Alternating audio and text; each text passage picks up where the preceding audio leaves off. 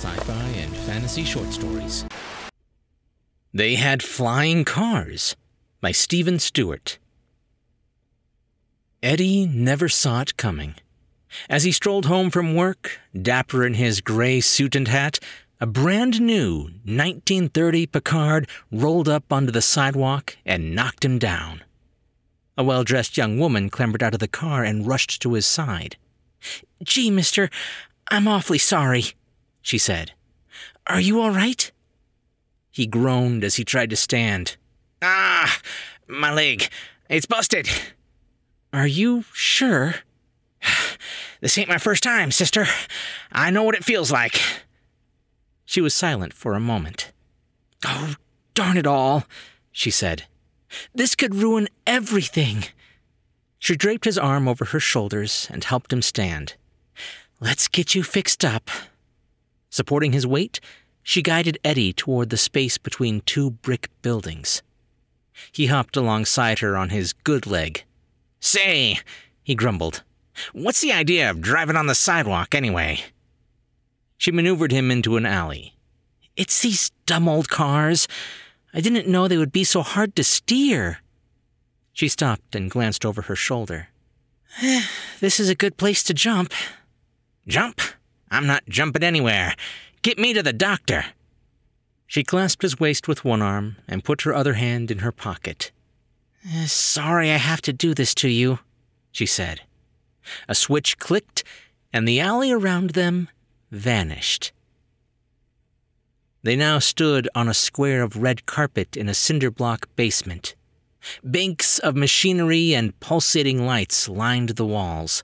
Workers in gray coveralls approached, each wearing an employee badge labeled Tyranco.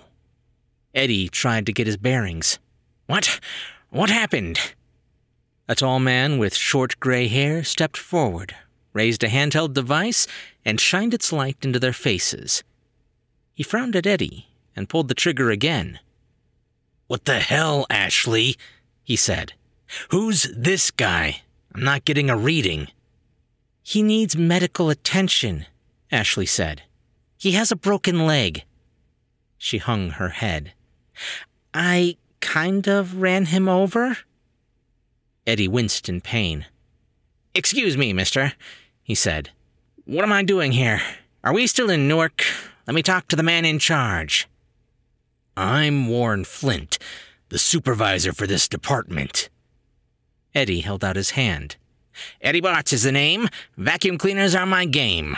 What kind of outfit are you running here? Flint switched languages from English to Futuranto. Why is he talking like that? He's from 1930, Ashley murmured. A twitch came to Flint's eye. You brought back a native. We can't have that. He's going to contaminate the timeline. I had no choice. Ashley recounted the details of the sidewalk accident. I couldn't just leave him like this. It would have totally warped history. You may have already warped history renting that car. Ashley took in her surroundings. Well, has anything changed here? It would be hard to tell. We ourselves would be changed, along with everything else. Eddie wobbled as he balanced on one foot. He seriously needs to sit down, Ashley said. Flint touched his Tyranco badge and said, uh, Send a wheelchair to the basement. He handed a spare badge to Ashley. Make sure he gets to Medbay 1 without seeing anything. And be careful what you say to him.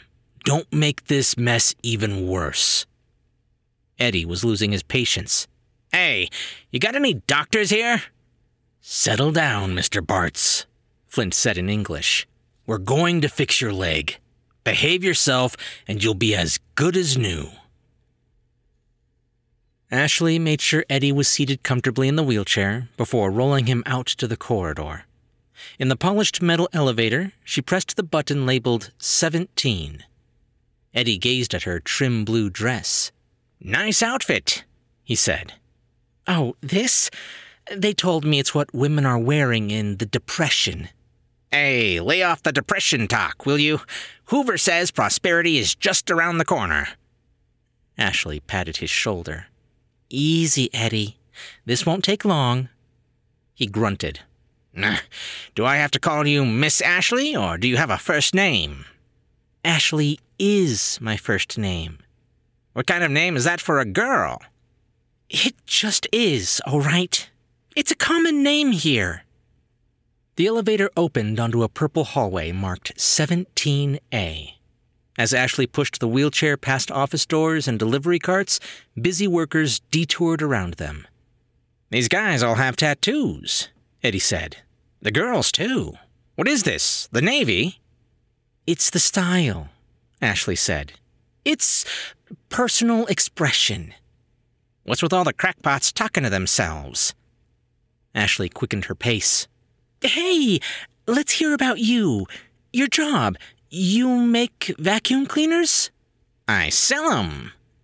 Eddie relaxed in the chair and regaled her with his adventures in door to door sales.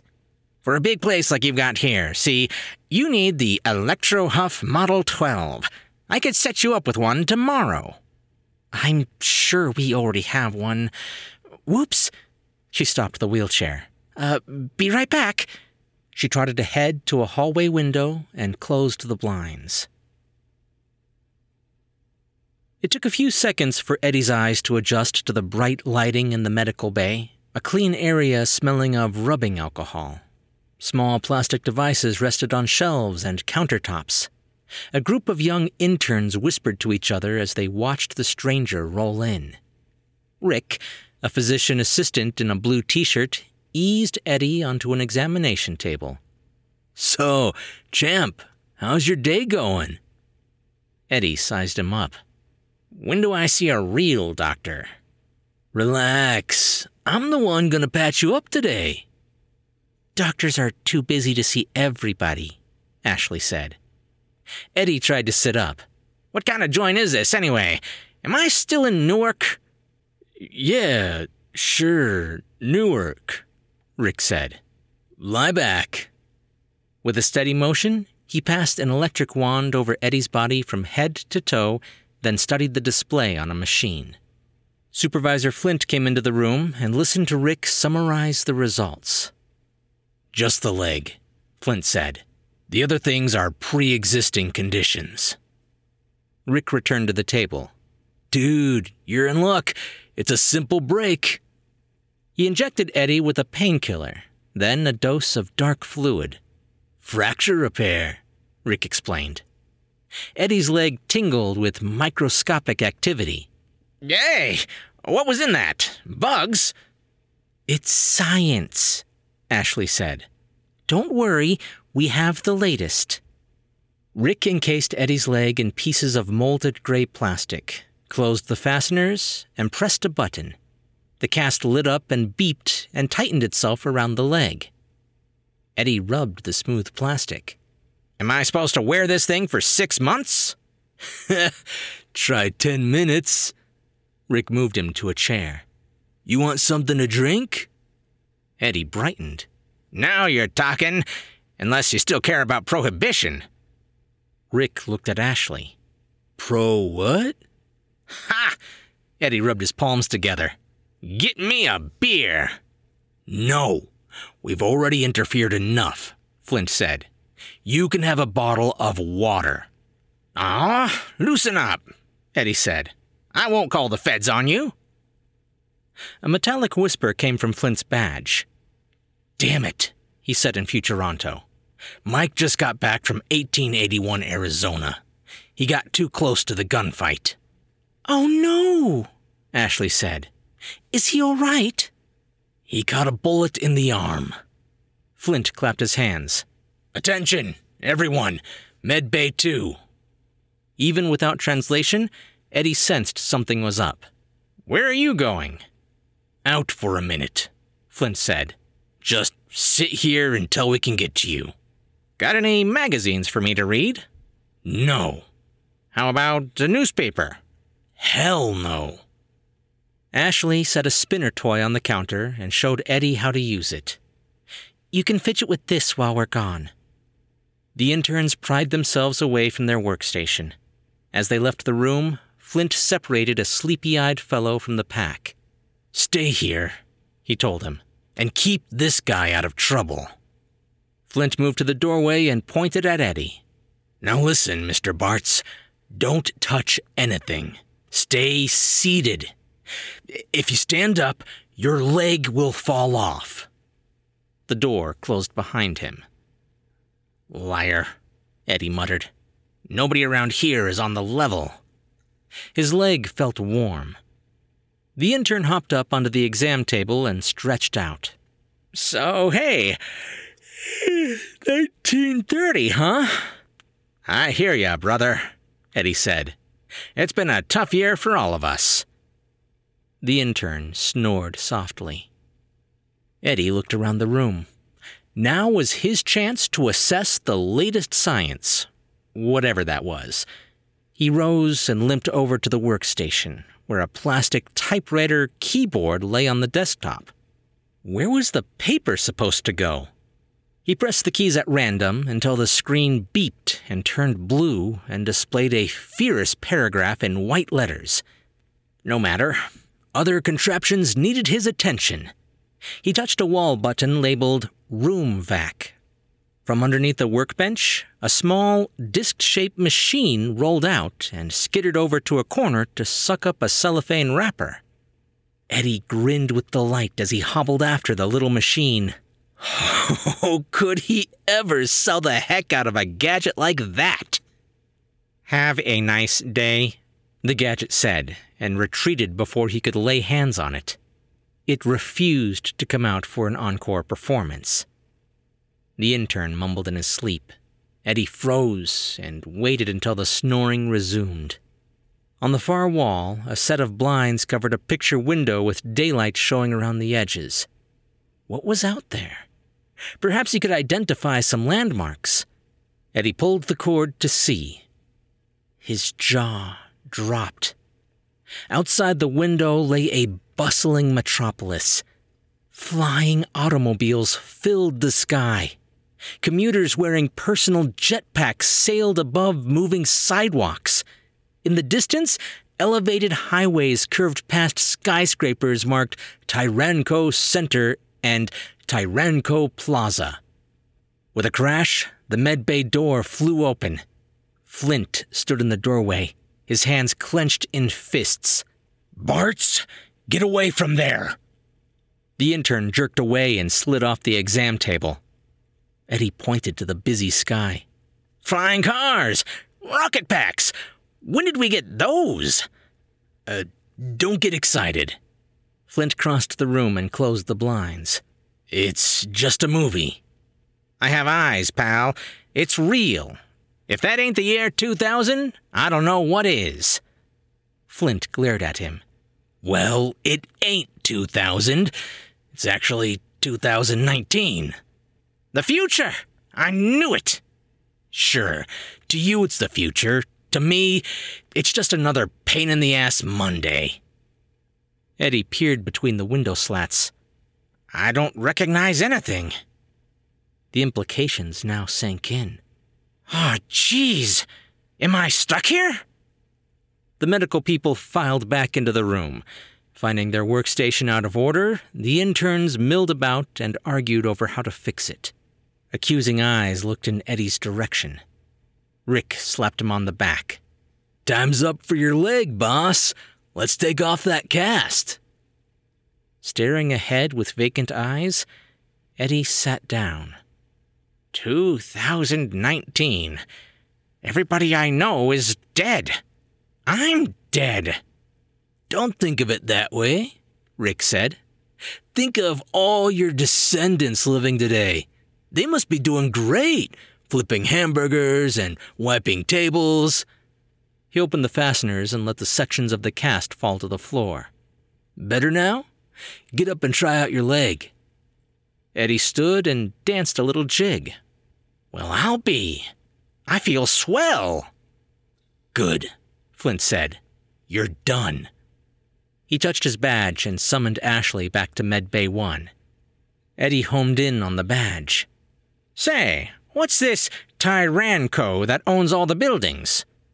Flint set his clipboard down on the table. Listen, Bartz, we have a problem. You're contaminated. What? What did you people do to me? I mean, your mind.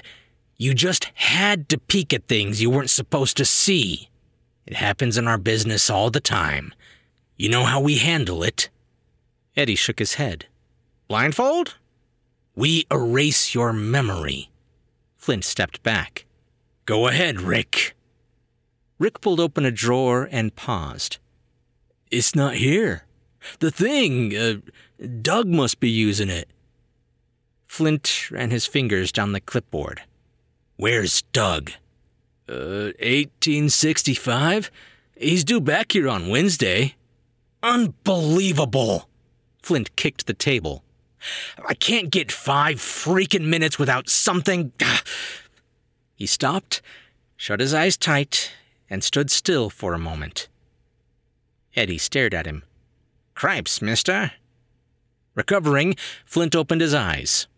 Well, Bartz, this is your lucky day. All I'm going to do is give you a little talk. Then we'll send you home. Eddie heaved a sigh of relief. All right, let's hear this talk. Back in 1930, what were you about to do before Ashley showed up? Buy a steak? Go home for dinner? Yes, go ahead and do that. If you don't, you'll wreck the future. Eddie cocked his head. What's that now? What are you getting at? Flint took a deep breath. Concentrate, Bartz. Focus. He explained the theory of how a butterfly flapping its wings in Brazil could cause an eventual tornado in Texas, and how trivial changes to the past could snowball into momentous changes to the future. Eddie struggled to keep up. You're giving me a headache. You have a bright future. Don't ruin it. Forget everything you saw today. Ashley appeared at the door. Has anything changed? she asked in Futuranto. We're done with your friend, Flint said. Now put him back where you found him. Is he, you know, ready? Ashley pointed to her head. He might give you some trouble. We can't wipe his memory, and he knows that this is 2019. Oh, crap. Stay with him until you're sure he has his act together. Ashley saluted. Right. Flint switched back to English. Heads up, Bartz. Your ride's here. Eddie shook Rick's hand. So long, Doc. Later, Rick said. Have a great depression. Ashley escorted Eddie back down hallway 17A on the way to the elevator. I feel awful about the accident, she said. I wish I could make it up to you. Eddie seized the opportunity. Well, tell me about the stock market. It took a dive last year, 1929, I mean. When does it come back up again? Now, Eddie, even if I knew, I'm not allowed to tell you. Didn't Mr. Flint give you the talk? Did he ever? Butterfly's my foot. What a bunch of baloney. No, it's definitely a thing. Do like he says, or you'll totally mess up your future. Eddie laughed. Is that how people talk in 2019? You know what I meant. Sure. You're worried I'll ruin 2019 for you. Well, yes, Ashley said. I like things fine the way they are. I like my job. Oh? And what's your job? Ashley hesitated. Let's call it history maintenance. Eddie stopped and looked up and down the green hallway. Wait a minute. Wasn't this purple before? What? No, it's always been this color. I could swear it was purple. Was it? Ashley bit her fingernail. Ah, rats, we better send you home fast. Down in the basement again, she stepped back and inspected his tailored suit. No souvenirs? she said. Give 'em up. Protesting, he dug into his pocket and handed her the spinner toy. Ashley hugged him from behind.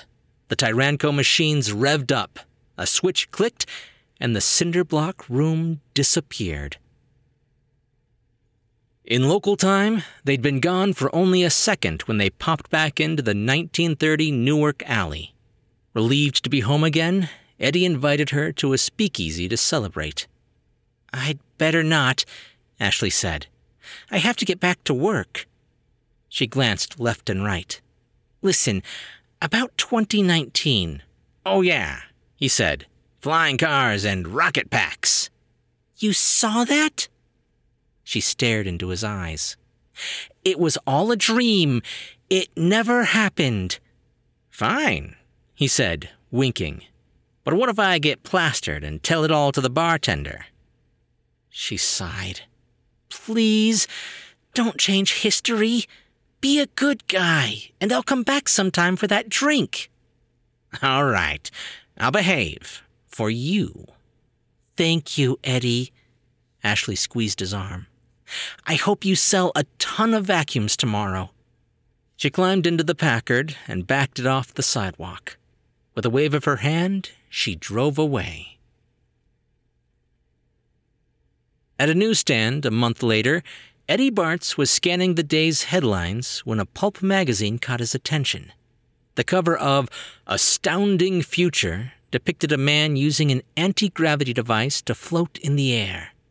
Eddie smirked at the drawing, knowing from experience that it was far off the mark. He paid for the magazine and sat down to chuckle at its wild predictions for the year 2000 pocket telephones, mattresses filled with water, operas on television. By the time he took a break from reading, 45 minutes had gone by. Eddie was now too late to find a certain Mrs. Randolph at home that day. Too late to sell her a vacuum cleaner. Without a new vacuum, her maid continued to rely on an old carpet sweeper, which led Mr. Randolph to complain to his wife about the housekeeping, and then about things in general. Their ensuing argument accounted for Mr. Randolph's foul mood the next day when he canceled plans for a company merger, which meant that the proposed entity, Tyranco, would never come into existence. Over time, Eddie took a sales manager position and married the boss's secretary. Once in a while, his thoughts drifted back to his visit to the 21st century. Ah, what was that gal's name? Ashley. Why hadn't she ever come back? Under an empty sky, in the now settled version of 2019, Ashley parks her car behind the Midtown Pizzeria, ready to begin the dinner time shift. She punches in and puts on a red apron. As she brings out a large pepperoni pizza to the family at table 17, she can't help feel that something has changed.